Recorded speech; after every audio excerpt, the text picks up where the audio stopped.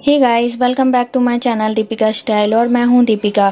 तो आज की हमारी रेसिपी है राइस पोटैटो लॉलीपॉप तो ये मैंने बनाया हुआ है।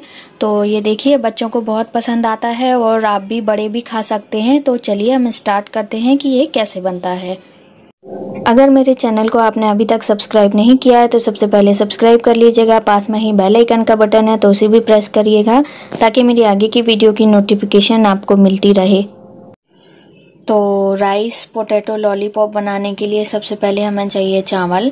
तो यहाँ पर मैंने रात के बचे हुए चावल लिए हैं। आप इनको तुरंत बनाकर भी यूज़ कर सकते हैं, बना सकते हैं। राइस पोटैटो लॉलीपॉप और यहाँ पे मैंने लिया है ब्रेड क्रम्स ये मैंने घर पर बनाया है। इसका लिंक आपको डिस्क्रिप्शन बॉक्स में मिल जाएगा। और यहाँ पे मैंने लिया है चाट मसाला, जीरा पाउडर, और ये एक मीडियम साइज़ का कटा हुआ प्याज है।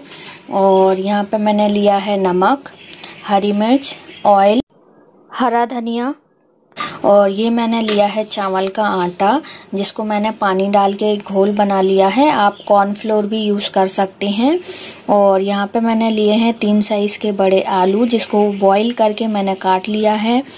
और यहाँ पे मैंने लिया है आधा चम्मच हल्दी पाउडर और आधा चम्मच लाल मिर्च पाउडर तो चलिए हम देखते हैं हम किस तरह से पोटैटो राइस पोटैटो लॉलीपॉप बना सकते हैं। तो सबसे पहले हमें आलूओं को कद्दूकस कर लेना है। तो चलिए पहले हम इसको कद्दूकस कर लेते हैं। ये देखिए, आलूओं को मैंने कद्दूकस कर लिया है। तो चलिए अब हम आगे की तैयारी करते हैं। तो यहाँ पे मैंने जो रात के बचे हुए चावल लिए थे, उसको एक बाउल में ले लेना है आपको। और इसमें हम ऐड करेंगे जो कद्दूकस किए थे, वो आलू और प्याज, थोड़ा सा हरा धनिया हरी मिर्च, जीरा पाउडर, चाट मसाला और यहाँ पे जो लिया था हल्दी पाउडर और लाल मिर्च पाउडर वो ऐड कर देंगे और नमक आप अपने हिसाब से डाल सकते हैं। तो अब हमें इसे अच्छे से मैश कर लेना है। यहाँ पे मैंने इन सभी को अच्छे से मिक्स कर लिया है सारे मसाले ऐड करके। तो अब हमें इनकी छोटी छोटी सी बॉल्स बनाना है।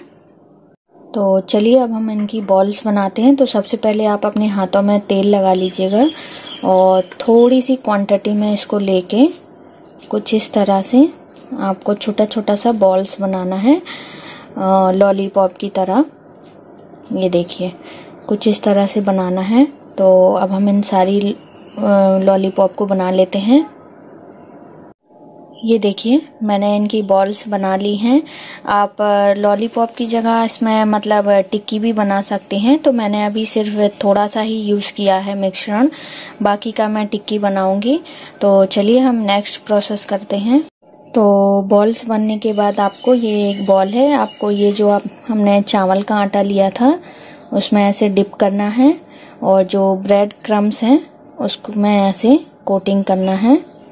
ये देखिए, कुछ इस तरीके से ये देखिए। और वन बाय वन आपको सारी बॉल्स कर लेना है। ये देखिए, इन सभी को मैंने रेडी कर लिया है।